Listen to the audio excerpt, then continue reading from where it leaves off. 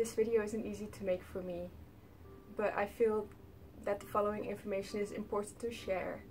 And even though I hope most of you won't need this information, it is very important to be aware of. Because me too. Me too. I've been sexually harassed multiple times. And the following examples I will give you are not even all of the examples. I've been groped, not just in clubs, and you might think, oh, it's a club, that happens, but it's not supposed to happen.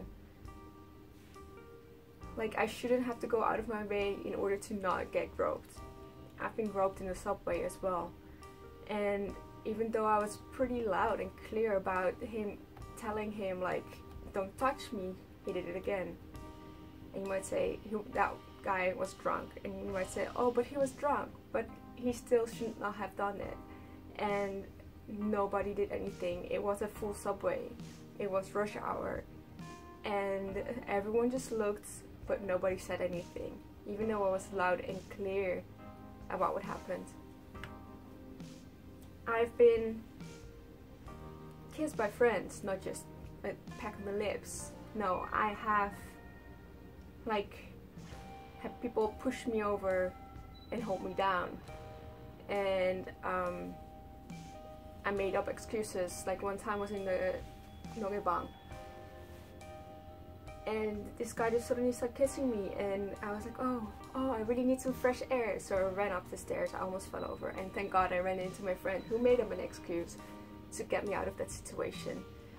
The other time was in a taxi, a driving taxi, and I couldn't get out because I was on the other side of the, like I wasn't closest to the street to get out of so he had to get out first and it was close to my home as well. Um, I made him buy me water and I ran home. I ran home and I haven't talked to him since. Both of those guys. Um, and these are just some examples of, thank God, just sexual harassment. Um, but it ha could have been much worse and I unfortunately know multiple people that have had worse happen to them even here in Korea even though Korea is supposed to be this absolutely safe country. But it's not. And um, I just want to give you guys some information that, that I was able to give to my friends when they were in that situation. And I want to share that information with you guys. So if anyone of you will ever be in this type of situation you know what to do next and you won't be as overwhelmed, as scared as I have been. So the first thing you need to do is of course call the alarm line. Now if I look down it's because I have my laptop with me because I want this information to be clear. Um, first thing you need to do of course after this happens call the police call the emergency number is 112 even if you don't speak Korean it's fine. They provide translation for you so I think that option would be the best. Then there is a second number. You can also contact the Seoul Crisis Intervention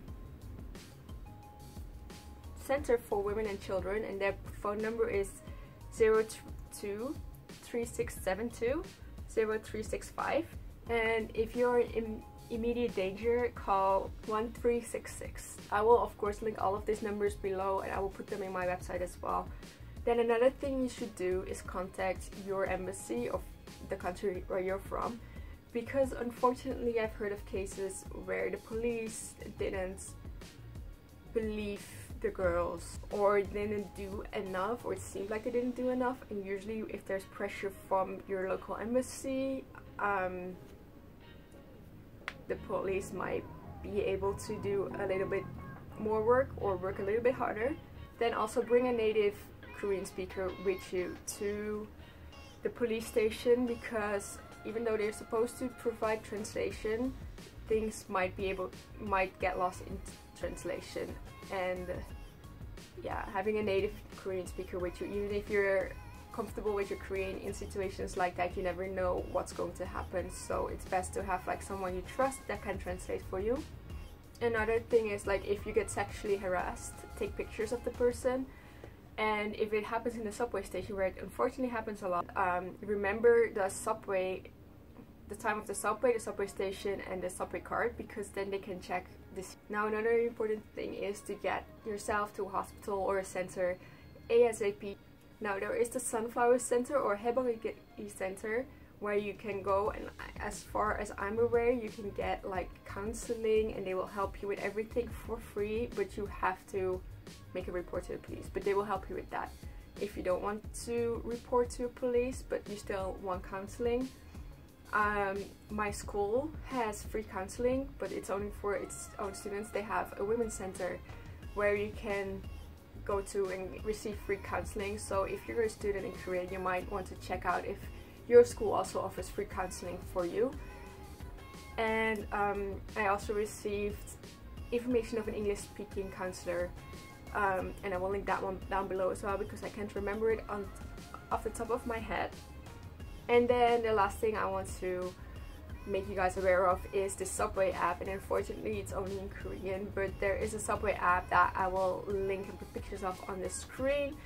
Um, and if something happens to you you can press the little alarm button and they will contact someone for you or you can at least make a, a claim right at that very moment because it's right in the subway app. It's like embedded there's like a little alarm button and you can click it. And I tried to click it but then I was like shit nothing actually happened to me. So I'm not like I cannot test it for you because I don't know what will happen like will they call the police or not. I will do a little bit more research and if I found more I will also put it in my blog post. Um, but yeah these are the most important things um, to remember. Take pictures of the guy don't shower go straight to the doctor or go to clinic or go to the sunflower center contact your embassy contact the police contact a friend that you trust I think that's also very important um, so you can talk about it. And like I don't want to scare you with these stories, it's just something that you have to be aware of. Um, if you have any other helpful information, please leave it in the comments down below and I will update our website every time I receive helpful information because I want to keep this as up to date as possible. And if you have any stories to share, please feel free um, with that being said, keep in mind that some people might not be as friendly about it. Some people might be like, but it's because of you. It's never because of you. Things like this don't happen because of you. It happens because the world, the society these days gives men the power over women and they make use of that unfortunately. And us women have to stand up and we have to make sure this doesn't happen to us and that these people get the punishment they deserve so thank you guys so much for watching. Please give this video a thumbs up if you liked it. And like i said before if you have any useful information please share it down below because that will be great. Thank you guys so much and i'll see you guys in the next video. Bye